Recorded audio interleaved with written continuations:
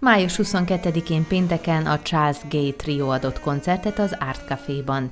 Az 1939-ben Buffalo-ban született free jazz zenészt, szakszofonos zongoristát triójának másik két tagja kísérte nagybőgőn és dobon. Napjaink egyik legnagyobb élő jazz legendája és nemzetközi triója most megjelent Christ Everlasting című lemezét mutatta be a közönségnek.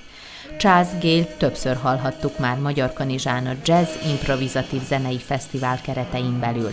Legutóbb három éve járt nálunk.